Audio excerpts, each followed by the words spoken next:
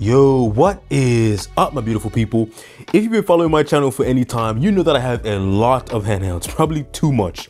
And the thing is, I always upgrade the SSD, but there are only a few devices that are worthy enough, that I think are good enough to be in what I call the 4 terabyte club. And right now, the 4 terabyte club consists of the OneXPlayer X1, the AYANEO Kun, still my favorite handle of all time, the ROG Ally X, and the original 7840U OneXfly. This is the 4 terabyte crew. But today, we're adding a new device. Today, we are adding a new device to the 4 terabyte club, and that is none other than the new OneXfly F1 Pro with this beautiful OLED display, the new uh, HX370 processor. This thing is amazing. So today we're gonna be opening up, we're gonna be upgrading the SSD. I'm gonna walk you guys through it. So let's not waste any time. Let's get right into this upgrade. Welcome to the four terabyte crew. Now, before we do that, make sure you smash that like button, make sure you subscribe, ring that bell and all that great YouTube stuff. Now let's get into this upgrade. Okay, so this is all the things that we need for this upgrade. We need, of course, the SSD. This is a 4 terabyte SSD from uh, Team Group. Not sure if you heard about that company, but I've been using them for a while. They never let me down. This is an SSD clone tool. So you put your two SSDs in here. It's going to make an exact copy. And of course, we need a tool set uh, to get into the device. So these are this is what we need for the upgrade. Uh, let's get into this process. So first thing you want to do is uh, turn off the device, of course. You don't want to really open this when it's still on. So just shut down the device. I want to show you guys where all of the screws are because if you look around, there's not many screws on the OneXfly. I don't think there are any visible screws uh, that you can see, and that may be intimidating for some people because if you don't see the screws, you kind of ask like, yo, what's going on? I don't want to risk it, but that's what I'm here for you guys. I'm going to show you where all of the screws are, and it's not that bad. So the first thing you're gonna do is you're gonna wanna take off these side covers. You're gonna wanna sort of get into this little uh, crack here. I don't know if you have like a pry tool or you can use your fingernail if possible. Just pry this up and you're gonna just pry that up, right? So that's gonna come up. Now don't just take it all up in one go. You're gonna wanna follow this line around here. So you see this, this line? You're gonna wanna follow that and pry up the clips that are in the inside there. So follow this line, go around until it's like this. Now that it's open like this, don't just pull it off because there are some, uh, some clips on the backside. Flip it over there's some clips on the backside. Follow this ridge along here. Follow this ridge. There's gonna be a few clips here and now it is off. So that side is off and you will see there are some screws in here. So now we're seeing some screws. There's a screw here and a screw here. So that's good to see. Now do the same thing on the other side and you get to the other screws.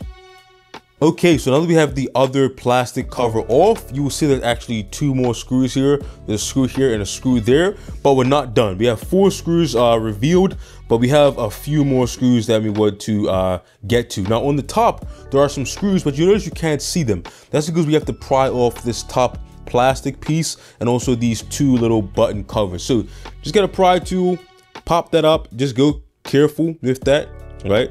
Just pry that up and it's going to come out. too. pry that up, that starts to come out. Now that's the first step. Pry it up a little bit more and then pull it out. So now that's out. You haven't broken any clips. That is good. Now there's a screw here, but we have to take off this whole plastic piece and the other button. So we're just gonna wanna pry this up, get under there, pry that up. As you go along, just try to pry it up carefully. Don't like force it. Go along the entire uh, length of the uh, device here, and then you can pry that up, hold it up, and then keep going pry it up carefully now. You don't want to break this thing here.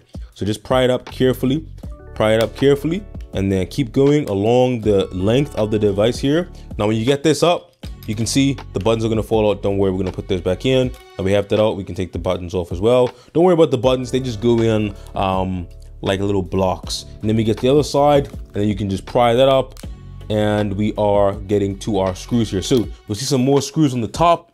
We can see we have one, two, three screws on top there. I don't know if you can see that. Screw here, screw here, and screw here. So now we have three screws on the top, but we are not done. There are some hidden screws, some really sneaky hidden screws. There's actually a screw under this little uh, sticker here, and there's another screw under this sticker here. So I'm gonna peel this up just to reveal the uh, the screw. This is just like the, uh, uh, what do you call it, the serial number. Just peel that up a little bit you will see the screw under there. So that's the other screw, and then there's a screw in here. So now we get our screwdriver out, and this is a, what is this? This is probably a double zero, a double zero Phillips head screw, and then we are ready to go. Now I'm gonna unscrew all of the screws, and then I'll, I'll show you guys the next step of getting this thing open.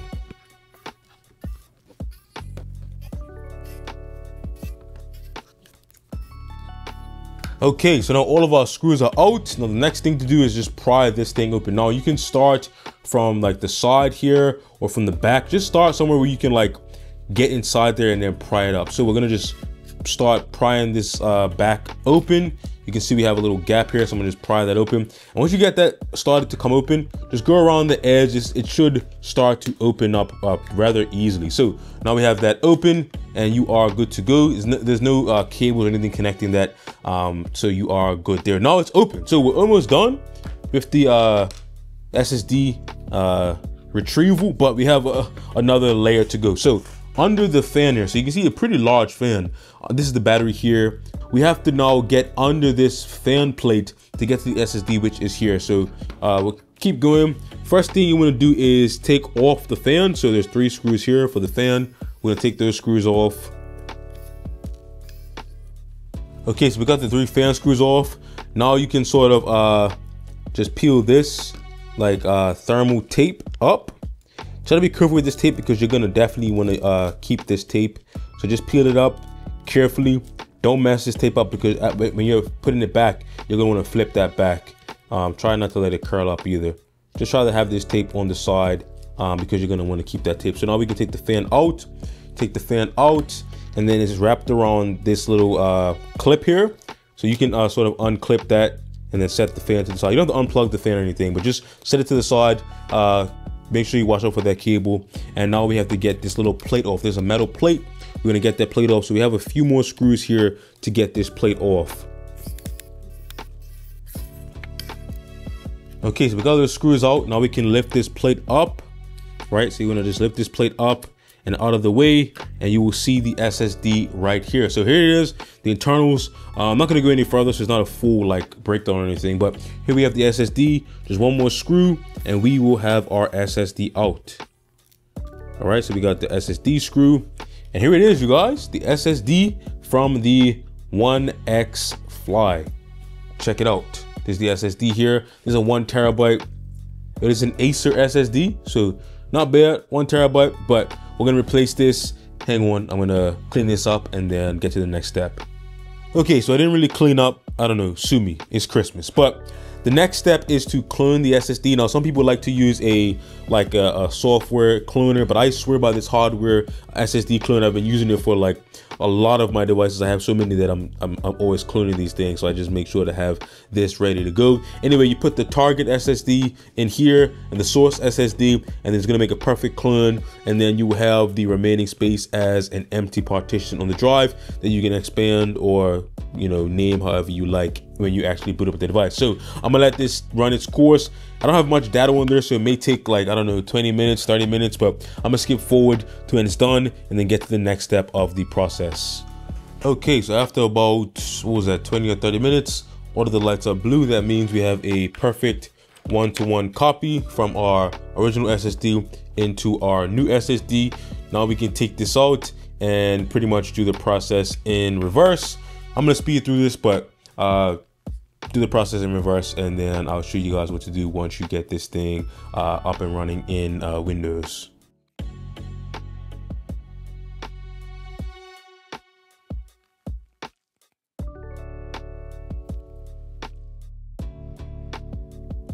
Okay, so this is the last step after putting it back together.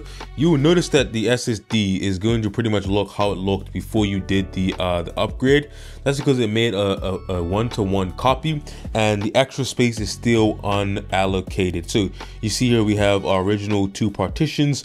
Uh, what you're gonna do is you wanna go to uh, format the SSD and that is going to allow you to get that space back. So we're gonna go to, uh, to format, create and format hard disk partitions and then it's going to show us the rest of that space there so we can see we have the original partitions here and then we can have we have 2.8 terabytes there or 2800 uh gigabytes unallocated. What you're gonna do is you're gonna pretty much like hold that until it brings up the little menu and then you're gonna go to new simple volume. You see that there, new simple volume. Click on that and then just go through the process here. You don't have to change any of these numbers, just click next, click next again, and then we can uh, give it a name.